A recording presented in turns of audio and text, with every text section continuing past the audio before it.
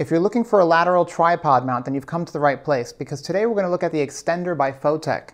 This 38-inch lateral tripod mount sits on top of your prosumer grade tripod uh, and allows you to get nice um, top-down perspectives, but at the same time get your tripod out of the way.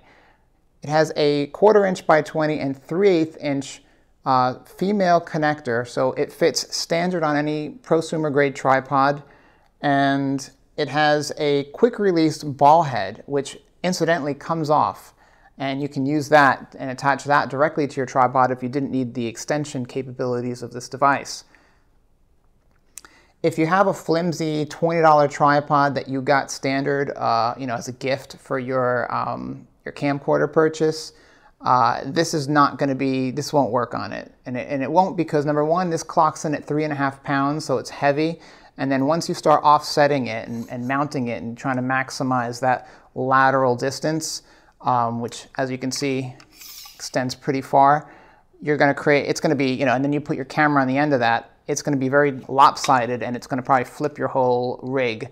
So you're going to have to get a prosumer grade tripod, which will run you about 100 bucks. I, I put this on a Vanguard Alta Pro 263AT, and it's a fantastic tripod mount, or tripod, and this fits perfectly on it.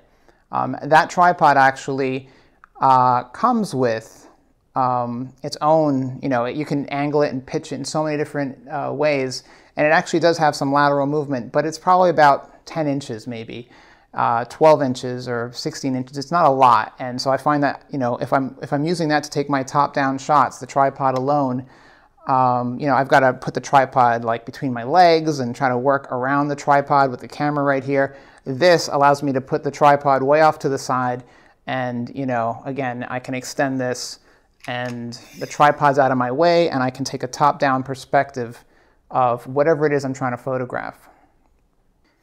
This has a nice weight to it. It's a, it's you know, a nice professional grade. It's not uh, a cheap item.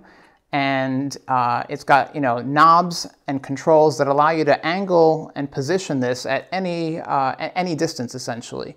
There's no uh, locking or ratcheting. And It's a smooth movement and uh, it's kind of like what you'd get in a, a light stand, for instance. If you do a lot of instructional videos where a top-down perspective is important, Perhaps you're doing uh, card tricks or crafts that you're trying to demonstrate. I've used this for um, game instructional videos. Uh, if that's the type of work you're doing and you want a nice clean top-down view and you don't want to have to like work around your tripod that gets in the way because it's coming from like between your arms and you're working like this, then I highly recommend the Extender by Photek because again, you can put this out of the way and you know, you have a nice clean area in front of you in which to present your work.